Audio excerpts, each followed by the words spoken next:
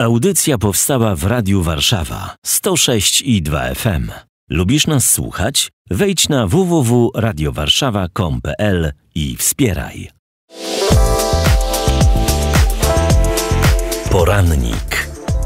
Na 106.2 FM jest z nami pan Rafał Wieczyński, reżyser, scenarzysta, aktor, ale także opiekun artystyczny festiwalu, o którym dziś będziemy mówić. Witam serdecznie, dzień dobry. Dzień dobry, witam serdecznie. O, słabo słychać, ale mam nadzieję, że za moment będzie lepiej, bo to nasze dzisiejsze spotkanie chciałam rozpocząć od y, podziękowań w imieniu swoim, w imieniu słuchaczy Radia Warszawa za film Popiełuszko Wolność jest w nas. Co pomogło panu wówczas przekazać nam autentyczny obraz księdza Jerzego? No, przede wszystkim świadkowie pomogli. E, miałem przez dwa lata rozmawiałem z osobami, które znały osobiście księdza Jerzego. No i skupienie się na jego własnym też wizerunku, to znaczy tym, co pisał, tym, co czym żył, co czytał również, tym, e, gdzie mieszkał, co przechowywał. E, no po prostu e, to chyba sceny, które po prostu były tak wyraziste, że utkwiły e, po prostu świadkom, uczestnikom tych wydarzeń e, w pamięci i je po prostu powtórzyli. No, oczywiście oprócz tego dokumenty, tak, e, dokumenty może nie tyle stworzone, znaczy stworzone przez SB i aparat bezpieczeństwa, ale może nie tyle dotyczące bezpośrednio księdza Jerzego, no bo te w większości zostały zniszczone, ale ale te, które e, pokazywały w jaki sposób funkcjonowało wtedy państwo i, e, i władza, też dawało to e, no, obraz z czym się, z jaką aparaturą, z jakim e, gigantem e, ksiądz Jerzy się mierzył i dlaczego, i dlaczego tak bardzo ludzie się tego e, w tamtym czasie no, mieli czego się obawiać. A i, jaka to była e, charyzma i, i odwaga. Jednocześnie no, w jego przypadku bardzo mocno po prostu zakorzeniona e, w, religijności, w Jezusie Chrystusie, i, która dawała siłę e, innym. Mhm.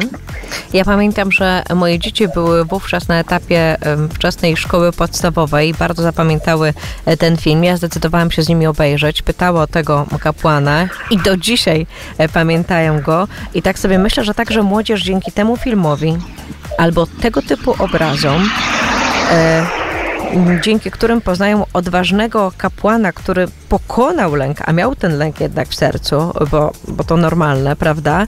E, I ludzi zdobywał otwartym sercem, o czym mówiliśmy na antenie Radia Warszawa, nie zaciśniętą pierwszą, a dziś młodzież potrzebuje prawdy. Nawet jeśli nie jest tego świadoma, to podświadomie ludzie młodzi dzisiaj potrzebują i poszukują tej prawdy.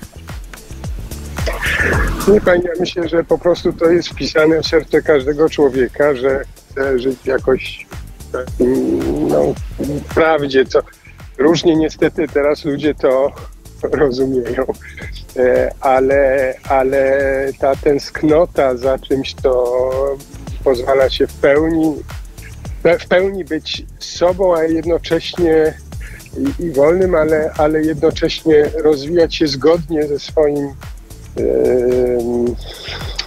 tym, co jest w sercu, a, a nie w tym, co, że tak powiem, wyczytamy, usłyszymy i, i co nam ktoś narzuci, to to jest, to, to jest coraz trudniej odnaleźć. To jest ta propozycja chrześcijaństwa dla, dla rozwój człowieka i, e, e, i, i poza tym jest taka prawda codzienna, tak?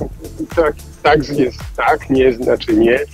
E, I, i, i po prostu jeżeli się kierujemy miłością, to, to, e, to można ją odnaleźć.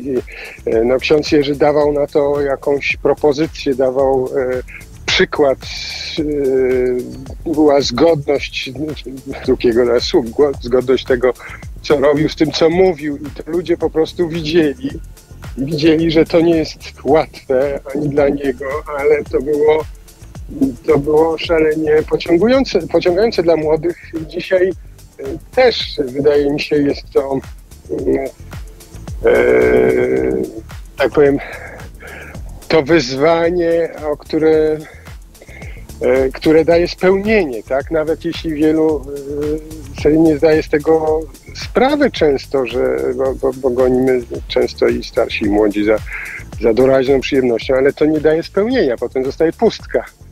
A, a tylko takie zanurzenie w prawdzie, to, to co ksiądz Jerzy proponował, e, zresztą widać po owocach jego pracy, da, dawało jemu i jego środowisku naprawdę poczucie sensu i spełnienia. I tego, tego ludzie młodzi chyba szukają zawsze i teraz i wcześniej. Tym bardziej zapraszamy naszych radiosłuchaczy na przegląd filmów Muzeum Historii Polski Popiełuszko Kazania na dziś od 20 do 22 września. To wszystko będzie odbywało się w salach kinowych Muzeum Historii e, Polski. Film opowiadający o życiu, śmierci i kulcie e, księdza Jerzego Pan e, no, sprawuje opiekę artystyczną nad tym wydarzeniem i po każdej z ośmiu projekcji odbędzie się dyskusja.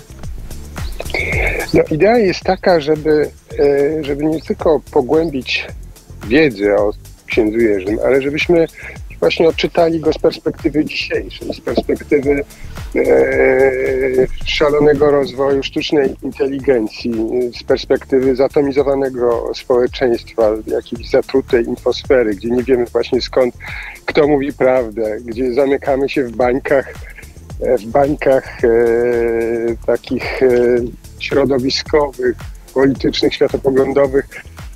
Ksiądz Jerzy przebijał, e, bo przecież i te, wtedy były te bańki, on je przebijał, on łączył, on łączył ludzi. ludzi. E, teraz, e, teraz technologia powoduje, że jesteśmy bardziej podzieleni, wydaje się, niż wtedy. E, no i chcemy zbadać w tym przeglądzie, obejrzeć, jakby przyjrzeć się jego życiu z naszej perspektywy, wsłuchać się w jego słowa z dzisiaj, tak jakby, tak jakby mówił do nas dzisiaj i zrozumieć, co to dla nas znaczy dzisiaj. Dlatego będą e, filmy, które raz będzie pierwszy film, który powstał świętej pamięci, e, świętej pamięci to, tytuł jest Ksiądz Jerzy, to wideo studio e, Gdańsk zrobiło. Autor już nie żyje, przepraszam, uciekł mi z głowy, a co znany człowiek, ale to za chwilę sobie przypomnę mhm. nazwisko. Natomiast e, e, będą filmy, które powstawały e, no, e, o, o mamie księdza Jerzego, o pierwszej Agnieszki parafii. Tak. Mhm. tak, Agnieszki Porzezińskiej.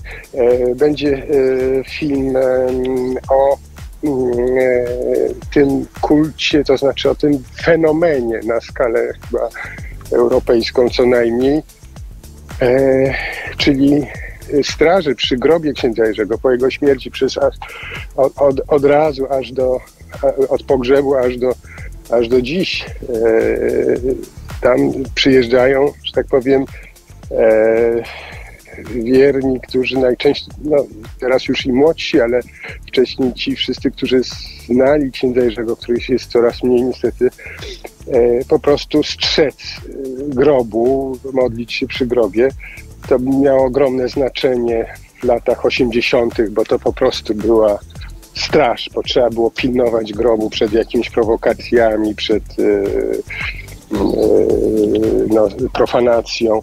No a, a w tej chwili jest to dalej taki znak pamięci, szacunku kultu i to jeżeli ktoś przez 30 lat co miesiąc czy dwa razy w miesiącu przyjeżdża z jakiejś odległej miejscowości do Warszawy, żeby spędzić 4 godziny czy pół dnia e, przy grobie księdza Jerzego, to coś znaczy, że gdzieś ten człowiek zakorzenił w nim e, no, taką potrzebę, tak, żeby, żeby oddać to jakąś jak, potrzebę jakiejś wdzięczności, więc to, to jest fenomen i o tym też będziemy opowiadać. Wspomnijmy też e, przy okazji tych członków różnych służb przy kościelnych, przy, mhm. przy grobie księdza Jerzego, tych świadków, którzy towarzyszyli mu no zarówno w, e, w tym ukrywaniu się, w uciekaniu, przecież tam było mnóstwo, że tak powiem, elementów filmu akcji, co sami Państwo wiecie, jeśli oglądaliście e, mój film. E, natomiast no też będziemy chcieli skupić się na samym słowie księdza Jerzego, to znaczy obejrzeć fragmenty wywiadów, które z nim zostały przeprowadzone, pogłębić to taką metodą, że tak powiem, poprosiliśmy o to, e, o to e, osobę duchowną, żeby jakby pomogła nam spojrzeć, nam lajkom e, na że tak powiem, źródła siły księdza Jerzego, odniosła je do to, co on mówi, skąd te myśli, że tak powiem, czerpał z Ewangelii i, i na zasadzie takich punktów jezuickich rekolekcji mniej więcej. Czyli to rozpoczyna no i... też, e, drodzy Państwo, no, e, obchody rocznicy męczeńskiej śmierci księdza Jerzego. E, przypomnę, że program całego festiwalu Kazania na dziś, przegląd filmu o księdzu Jerzym na stronie Muzeum Historii Polski, a był dzisiaj z nami pan Rafał Wieczyński, reżyser, producent, scenarzysta i opiekun artystyczny właśnie tego festiwalu. Bardzo dziękuję za rozmowę. Do usłyszenia. Dziękuję i zapraszam wszystkich serdecznie. Zapraszamy serdecznie. Patronat medialny sprawuje Radio Warszawa.